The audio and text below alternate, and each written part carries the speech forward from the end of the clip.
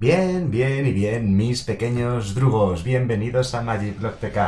Ya estamos aquí, como cada mes, trayendo las noticias más importantes acerca de Magic Arena, concretamente acerca de las notas del parche que suelen salir más o menos a mediados de mes. En este caso han salido el 15 de noviembre, hace un par de días, y hay bastantes novedades, muchas noticias fresquitas que tenemos que comentar. Ha sido una actualización bastante grande y bastante importante en muchos términos. Primera noticia, quizás la más importante, el Direct Challenge. Puedes retar a tus amigos, por fin, directamente, introduciendo su, su nombre en el juego de Magic Arena. Él tiene que introducir también el tuyo y entonces los dos os retáis mutuamente. De hecho, el otro día ya hicimos aquí un directazo de tres horas jugando con todos vosotros y lo pasamos genial. Así que ya sabéis, ya podéis retar a vuestros propios amigos ya se puede jugar contra jugadores concretos. Vale, hay una serie de problemillas y dificultades con, el tema del Direct Challenge, pero no son demasiado graves. Lo único que cuando copiáis y pegáis el nombre del jugador, el juego automáticamente borra los espacios. Así que si el nombre tiene algún espacio, lo tenéis que poner luego manualmente. Supongo que es un pequeño error que corregirán próximamente. Bien, lo siguiente, el Gift Pack 2018. El Gift Pack es una serie de cartas, un, vamos, un material sellado que vendrán en las tiendas, eh, tiendas físicas. No es, de, Magic Arena, quiero decir esto, ¿vale? Del gift pack. Esto del gift pack es una cosa de Magic físico, de Magic real, que vendrán en las tiendas y que, por cierto, eh, lo tenemos por aquí. Si pincháis en este enlace, dejaré un enlace, por cierto, a toda esta actualización, ¿vale? Eh, está en los foros de Magic Arena, lo podéis encontrar, pero vamos, a dejar un enlace igualmente. Y bueno, pues nada, es el típico producto que sacan de regalo para enfocado hacia las navidades, ¿no? Y ese producto pues tiene una serie de cartas, eh, unos mazos de cinco colores, o sea, cinco mazos, mejor dicho, uno de cada color, y con algunas cartas que son nuevas. Por ejemplo, el mazo blanco trae el Militant Angel, el mazo azul trae la Inspired Sphinx, el mazo negro trae el Rod Hulk, el rojo Goblin Goliath, el verde Avatar of Growth. Estos, estas cartas que estoy comentando, estas cartas, una de cada color, eh, creo, creo, no lo han dicho muy claramente la verdad, pero creo que en Magic Arena no van a salir, ¿de acuerdo? Estas de aquí solamente vienen de regalo con el, el, mazo preconstruido que viene con esto del gift pack, ¿vale? Y no van a ser legales en estándar. Estas cartas, a su vez, otras cartas que aparecen en estos mazos que no han sido editadas en ninguna de las cinco colecciones que hay actualmente en estándar, no van a ser legales en estándar, ¿vale? Sin embargo, cuidado, sin embargo, con este gift pack vienen cinco cartas de regalo que van a pertenecer a la colección de M19. No salen en sobres de M19, pero oficialmente van a pertenecer a la colección M19. Así que cuando M19 rote del formato y salga, ya no será legal en estándar. Eso quiere decir que estas cinco cartas que no han salido en M19 oficialmente salen ahora y no salen en sobres, pero se pueden conseguir en los gift packs y van a ser legales en estándar. Afortunadamente son bastante malas y no creo que se vayan a jugar, porque si alguna de estas cartas se acaba jugando se va a disparar su precio, porque será muy difícil de conseguir. En Magic Arena, en Magic Arena las podremos conseguir. ¿Cómo? Pues en Magic Arena las podremos conseguir eh, con comodines. Gastáis comodines si os salen, ¿vale? O sea, las podéis conseguir únicamente con comodines porque no salen de sobres. Y además vendrán cinco cartas de tierra básica de regalo foil y tal, que solamente son para la vida física real. Aquí está el producto, se como estaba comentando. Ah, y por cierto, una cosa, vendrá lo más importante para Magic Arena. Para Magic Arena, si compráis este producto físico, ¿de acuerdo? Si lo compráis físicamente en la tienda, os vendrá un código y ese código será canjeable por estos mazos dentro del Magic Arena. Claro, al ser canjeable por, por estas cartas dentro del Magic Arena, me hace pensar me hace pensar que tendrán que salir en Magic Arena también estas cartas, ¿de acuerdo? O sea, no lo han dicho claramente, pero sí, como podéis canjear el mazo completo para poder jugarlo en Magic Arena, el problema de estos mazos es que hay algunas cartas que no están editadas en estándar, que no son legales en estándar. Así que aquí yo creo que hay un pequeño vacío que no está muy bien explicado y tal. Tampoco es muy importante para lo que es Magic Arena, así que volvamos a lo que estábamos hablando. ¿Ves? Aquí está explicado, los, los jugadores que compren el gift pack podrán eh, cambiarlo por esas cartas en Magic Arena. Ya digo que no todas son legales en estándar, así que no sé muy bien este tema cómo va a quedar. Simplemente supongo que no podréis jugarlas en estándar. Os van a dar unas cartas que no podéis jugar dentro de Magic Arena, porque el único formato que hay es estándar Vale, bien, más noticias de Magic Arena. Han reconstruido un poquito el deck builder. El deck builder ya no es como era antes, lo han mejorado un poquito visualmente y tal. No es que sea una grandísima mejora, pero bueno, algo es algo, lo notaréis, ¿vale? Luego, en la página principal del juego, ya lo estuvimos viendo el otro día en el directo que hicimos, eh, ya no va a tener una imagen estática como era antes, muy cutre y feo, sino que ahora va a tener pues un carrusel, un carrusel de imágenes eh, que podréis ver eh, pasando, ¿no? Y con noticias, novedades, promociones o lo que sea. Ya lo estuvimos otro día comentando a lo largo del directo. Habrá una nueva pestaña que se va a llamar Learn More o Aprender Más, la página de Aprender Más que, que bueno, pues si pincháis en ella, pues os llevará a una serie de artículos, vídeos de aprendizaje, de cómo montar un mazo, etcétera, etcétera. La opción Direct Challenge va a aparecer también como un icono nuevo por ahí, en la parte de arriba del, juego, que luego, luego os lo comento, luego os lo muestro, ¿vale?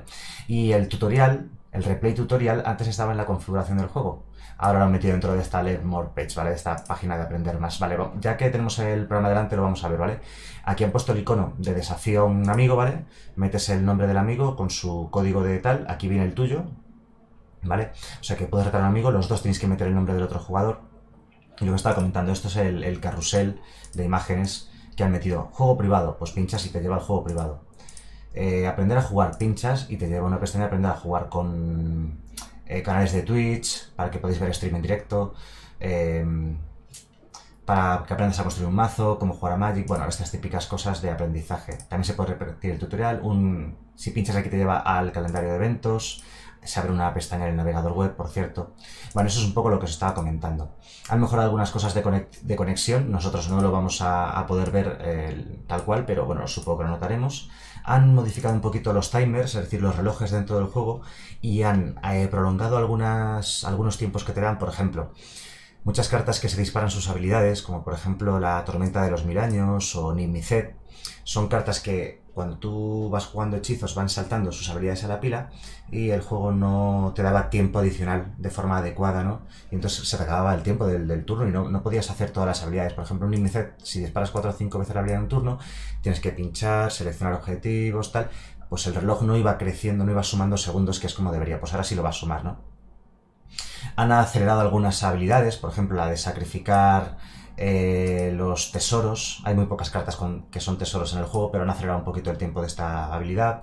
También han reducido el tiempo mínimo em, que una habilidad o, hechizo está en la pila eh, de un jugador oponente, desde un segundo hasta 0,4 segundos, también para que el juego sea más fluido, más rápido. Y lo mismo con aquí la tormenta de los mil años, que es uno de los hechizos que más habilidades salta a la pila. Eh, pues lo han reducido de un segundo a 0,25 segundos. Por si no sabéis lo que es la pila, la pila es el sitio al que van los hechizos antes de que entren en juego, para entendernos, antes de que sean efectivamente ejecutados, ¿no? Cuando lo jugáis, veis que se queda en pantalla a la parte derecha, ¿no? En la parte derecha, esperando cómo a resolverse. Pues ahí, eso se llama la pila, ¿no? Cuando se van acumulando ahí los hechizos es la pila. Vale, aquí han hecho una mejora bastante, bastante importante, ¿vale? En el gameplay, importantísima, de hecho. En los de mejor de tres partidas, o sea, con banquillo y con todo, cuando tiras el, dado, ganes o no ganes, bueno, si ganas, te dejan elegir si sales o no sales, que era una cosa que no permitía el juego y que era una caca, o sea, eso no puede ser así. Sin embargo, cuando, no entiendo por qué narices hacen esto así, en las rondas de al mejor de una partida, el que gana la tirada del dado sale automáticamente, no te dejan elegir no salir, ¿no? Eso es una caca y no puede ser así, o sea, tienen que dejarte elegir. Supongo que han pensado que este formato es más casual y lo hacen así para que sea más sencillo, que los jugadores tengan menos decisiones que tomar. Bien, bueno, han hecho una serie de cambios, ya digo, este es bastante importante y era necesario. Era muy necesario porque, sobre todo en limitado, el limitado ocurre muchas veces que no quieres salir tú, quieres que salga el oponente para robar una carta extra. Así que al menos ya lo tenemos en los best of 3, en los de mejor de 3. Y en los de mejor de 1, como es más casual, parece que lo van a dejar eh, que el que gana el dado eh, sale automáticamente. Bueno, no importa, a mí la verdad es que me da un poco igual, creo que al fin y al cabo es aleatorio si sales o no sales, así que es como en la vida real prácticamente, ¿no? Bien, eh, prácticamente, ¿eh? no del todo. Hay algunas tierras, algunas tierras, por ejemplo las, las Shocklands, que cuando pinchas en ellas para extraer mana, salta una ventana nueva en la cual tienes que elegir si sacas mana negro, mana rojo, el mana que sea, ¿no? Que pueda dar. Eso lo han cambiado. Y ahora todas las tierras, cuando pinchas en ellas, automáticamente sale un circulito con los colores que puede dar y pinchas directamente en el circulito que, del cual quieres extraer, extraer mana. Bueno, eh, si no sabéis a qué me refiero, en alguna partida por ahí está, lo veremos, ¿vale? O sea, de momento, ya digo, ahora mismo me voy a meter en una partida solamente para ver eso de las, de las tierras. Vale, la habilidad de adivinar, Scry, eh, dice que funciona más rápidamente para el oponente, perfecto. La habilidad de Walk the Plans, de Walk the Plans le han reducido la, la animación VFX, se refiere a la animación de, el dibujito, la imagen que sale todo esto, se resuelve más rápido. Lo que han hecho, veo, muchas cosas han, reducido tiempos de animación, han reducido tiempos de no sé qué, han alargado tiempos que hacían falta de las habilidades, por ejemplo, que saltan disparadas a la pila, como la de Nimiched o la Tormenta de los Mil Años. Pequeñas mejoras que notaremos que van a, que van a facilitar nuestra experiencia de juego, la van a hacer mejor. Vale, han cambiado la animación a exiliar cartas del juego. Pues ahora no me he fijado, la verdad, yo no he notado ninguna diferencia, pero vamos, Supongo que algo lo habrán cambiado. Las animaciones de mana también las han actualizado, o sea, las han mejorado. Tampoco me he fijado. Son detallitos pequeños que uno casi no percibe, ¿no? Y si, si lo comparamos, pues supongo que se verán diferencias con la antigua.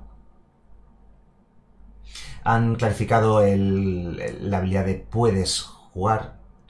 Vale, o sea, por ejemplo, algunas eh, criaturas o algunos hechizos te dan la opción de jugar una habilidad o no jugarla, ¿vale? Por ejemplo, por ejemplo, el compañero de mana de Hani, cuando va a la pila su habilidad, te dicen, ¿quieres hacer uso de la habilidad? Lógicamente siempre quieres, jamás va a ocurrir. O sea, es dificilísima una opción en la que tú no quieras que tu bicho sea mejor, ¿no? Muy raro sería, ¿no? Bueno, pues dice que esto va a seleccionarse más rápido. Bueno, y se ve más claro el tema de declinar esa opción, ¿no? Bueno, no sé, cuando lo veamos en game, pero que sepáis que lo han cambiado también. Vale, esto también es súper importante. Algunas criaturas tienen una habilidad que es deben atacar, must attack, ¿vale? Están obligadas a atacar cada turno. Por ejemplo, el Juggernaut o los tokens que pone el Legion War Boss están obligados a atacar. Pues antes el juego los ponía a atacar directamente y eso podía inducir a error, ¿vale? Que atacase solamente con esa criatura cuando queréis atacar con más o cosas por el estilo. Eso lo han cambiado. Ahora cuando llega la fase de ataque, esas criaturas no se ponen a atacar automáticamente, sino que tienes que ponerlas tú a atacar, de tal manera que evitas errores, ¿no? Eso me ha pasado a mí y le ha pasado a mucha gente, el tema de atacar sin querer solo con una criatura, que ya aparece predeterminada como atacante y te hace equivocarte. Eso lo, han arreglado, lo han cambiado. Vale, esto también es un cambio bastante importante. Cuando un hechizo está en la pila, o sea, esperando a resolverse, eh, su texto se va a ver de un color concreto, ¿vale? haciendo objetivo a una carta concreta que también su texto se pondrá de ese color. O sea, es decir, si yo juego un choque sobre un elfo de Yanowar, el, choque tendrá el texto en color azul, por ejemplo, y el elfo de Yanowar tendrá su texto en color azul. ¿Por qué hacen esto? Porque hay algunos hechizos o habilidades o tal que tienen diferentes objetivos. Por ejemplo, eh, por ejemplo, por ejemplo, no se me ocurre ninguno ahora mismo. Hay algunos hechizos que hacen objetivo a dos criaturas, por ejemplo. Entonces, la parte del texto que hace objetivo a una criatura se pondrá de color azul y la parte del texto que hace objetivo a otra criatura se pondrá de color rojo. De manera que será más fácil identificar qué partes o qué habilidades hacen objetivo a una u otra criatura, a uno u otro objetivo, ¿vale? Eso es un poco la idea de, esto. O sea, bastantes, bastantes cambios de, de mejora de experiencia de juego que me gusta bastante todo lo que están haciendo. Se lo están currando, la verdad. La otra cosa que también le he comentado en las últimas semanas varias veces. Cuando estás en la pantalla de Mulligan, si te quedas la mano o no te la quedas, no se ve bien, no queda claro si el oponente ha hecho Mulligan o no ha hecho Mulligan. Pues esto parece que lo han corregido, ¿vale? Será más fácil, clearly, o sea, más eh, clara la visualización de la información acerca de si el oponente hace Mulligan o no hace Mulligan, ¿no? Perfecto. ¿Qué más? Eh, dice aquí que los eh, Planeswalkers legendarios ya no estaquean, es decir, ya no se acumulan, podamos decir. Eh, creo que, lo que a lo que se refieren, porque tampoco estaba muy claro tal como está escrito, es que antes, cuando tú jugabas un segundo Planeswalker, quedaba uno encima del otro y no sabías muy bien cuál de los dos era el más antiguo o el nuevo. A ver, os explico. Cuando uno, por ejemplo, yo juego un Karn, ¿vale? Un Karn Planeswalker. Tengo uno en mesa. Activo su habilidad y puedo volver a jugar otro Karn para jugar la habilidad del nuevo Karn. Pues lo que ocurre es que cuando juegas ese segundo Karn no sabes muy bien cuál es el nuevo y cuál es el antiguo. Así que cuando te, da cuando te dice que estás obligado a sacrificar uno de los dos, porque no puede haber dos en juego, solamente puede haber uno, no sabes cuál de los dos es el nuevo. Lo que quieres es sacrificar el viejo del cual hayas usado la habilidad para poder eh, usar la habilidad del nuevo, ¿vale? Así puedes usar, digamos, dos habilidades de cara en un mismo turno. Bueno, pues eso parece que lo han cambiado para que la habilidad de quedarte uno, sacrificar el otro y tal, se vea más clara y no metas la pata, ¿no? Otra cosa que han corregido, esto es un error más bien, los tokens eh, del Planeswalker Jace, eh, Canning Castaways, bueno, Castaway, perdón, eh, ya no tienen el super tipo de legendarios. Eh, la habilidad, o sea, cuando tú ves una carta y pone que es legendaria, eso se llama super tipo, ¿vale? Cuando ves eh, que una carta pone criatura, ese es el tipo. O sea, legendario está, digamos, como por encima. Algún día tendría que hacer un vídeo sobre reglas, porque el mundo de las reglas de Magic es bastante denso y bastante complejo. Pues como digo, legendario es un super tipo, está por encima de la carta en sí, ¿vale? Es como que una carta es legendaria independientemente de si es criatura o sorcery o lo que sea. Luego va el tipo, hay cinco, seis, hay seis o siete tipos de carta en Magic, que son criatura, tierra, instantáneo, conjuro, artefacto, ya sabéis, bueno. Pues hay cinco tipos o seis o siete por ahora mismo, creo que hay seis o siete equipo, bueno, no sé exactamente. Las básicas, eh, ya digo, conjuro, instantáneo, criatura, tierra, son los cuatro tipos básicos. Cinco, artefacto, los cinco tipos básicos. Luego equipo creo que también se considera tipo de carta. Y no sé si hay alguna más porque no estoy mismo puesto en las reglas. pero legendario está por encima de eso, es un supertipo. Igual que es un supertipo eh, el nevado. Un permanente nevado está por encima de su tipo de criatura, ¿vale? Una permanente nevado pues puede ser, puede ser tipo criatura o tipo tierra o tipo lo que sea. Y luego están los subtipos. ¿Qué es un subtipo? Pues por ejemplo, cuando yo juego una criatura goblin, trasgo o un elfo o una bestia, un dragón, un dinosaurio, esos son subtipos, ¿vale? Así que subtipo subtipo y supertipo, ¿no? Bueno, pues el legendario es un supertipo, ya no tiene el, legendario de supertipo los toques. No sé para qué me enrollo tanto para una cosa que tampoco importa mucho. Ahora para que sepas, supieses un poquito más de reglas. A ver qué le dicen aquí. A continuación, más cosas, más correcciones o más mejoras. Vale, sí, cuando algún hechizo que tiene diferentes opciones, como por ejemplo el Caballero del Otoño, está en la pila, eh, ahora se ve, se ve que qué opción ha elegido el jugador. A ver, me explico. El Caballero del Otoño tiene tres opciones cuando lo juegas. Puede entrar con dos contadores más uno más uno, o puede al entrar en juego destruir un artefacto de encantamiento, o puede hacerte ganar cuatro vidas. Tú eliges. Pues entonces eso antes no se veía claramente. Ahora cuando lo juegas se ve claramente y el oponente lo ve y puede decir si te lo contrarresta o no te lo contrarresta, por ejemplo, ¿vale? Antes no lo veía claramente. No sé si no lo veía en ningún caso o si no lo veía claramente, pero el caso es que ahora sí que se ve claramente, ¿de acuerdo? Vale, aquí cuando tienes que tomar alguna decisión, eh, la barra de tareas de la arena, pues dice aquí que flasheará, o sea, que parpadeará o lo que sea. Bueno, eso cuando lo veamos in-game estaremos más seguros de que se refieren. Vale, luego hay una serie de bugs corregidos. No me voy a parar a leer toda la corrección de bugs, si queréis lo podéis leer vosotros tranquilamente. Y otra cosa más, el juego os va a desloguear. Eh, Ah, no, no, perdón, no os va a deslogar, no me hagáis caso. El log, que es el registro de lo que ha ocurrido en el juego, va a ser guardado durante tres días nada más. De siete que eran antes, de siete lo han bajado a tres únicamente para ahorrar el espacio que ocupa en disco duro. Ya, ya me dirás tú cuánto puede ocupar un archivo de texto de, un log de un juego, no ocupa nada, o sea, esto no entiendo muy bien por qué lo hacen, ocupa cero prácticamente. Bueno, pues estos son más o menos las novedades, ya digo, no me he puesto a comentar los bug fixes, ¿vale? Las eh, correcciones de errores, porque ya sería demasiado largo vídeo y creo que son detalles un poco irrelevantes. Casi todos son de animaciones. Bueno, hay uno que sí que es interesante, no si habéis fijado que cuando las criaturas tienen la habilidad de dañar primero, el total de vidas del oponente baja antes de que se haga todo el daño. Y luego baja otra vez. O sea, eh, hay una serie de errores visuales que han ido aquí corrigiendo y que han ido que harán que el juego sea un poquito mejor visualmente y que tenga menos, menos fallos. Bueno, espero que el vídeo os haya gustado. Estad muy atentos al canal. Ya digo, todos los meses vamos a hacer este archivo, o sea, este archivo, este, este vídeo sobre los cambios que ha habido en el juego. Lo hacen ellos cada mes, pues nosotros entraremos. Lo, lo hemos hecho la tercera, es la tercera vez que lo hacemos. Así que bueno, seguiremos con esta, con esta línea. Hay novedades sobre la quinta copia, no está escrito en este, en este artículo, así que os lo comento. Han dicho que el problema de la quinta copia, el problema del Vault, ya, está, ya están en ello al 100%. Hay un equipo entero de gente trabajando en ello y el Vault tiene los días contados. Para el primer trimestre de, de 2019 el Vault va a desaparecer, ¿vale? Y ya no va a ser la, ya no va a la que para las quintas copias. Lo que han dicho es lo siguiente. Van a implementar un sistema que evitará que abras quintas copias y punto. No han explicado cómo va a ser el sistema, dicen que lo están nivelando, que el Vault es como tiene que ser a día de hoy, que no puede ser de otra manera, porque si diesen más premio dicen que se desestabilizaría la economía del juego y llevaría a situaciones degeneradas que, que te permitirían conseguir demasiadas cartas demasiado fácilmente, así que han dicho que el Vault tal como está ahora es como tiene que ser, es como tendría que ser hipotéticamente, que solamente lo quitan porque no estamos contentos con él, es lo que han dicho, y lo van a cambiar por otro sistema con el que estemos más contentos.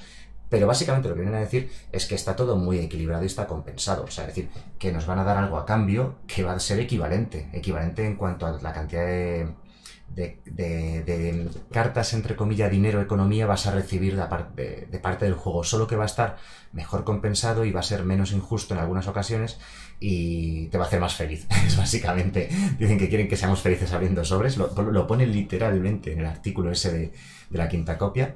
Y ya os iré manteniendo informados según vayan sacando más, más información.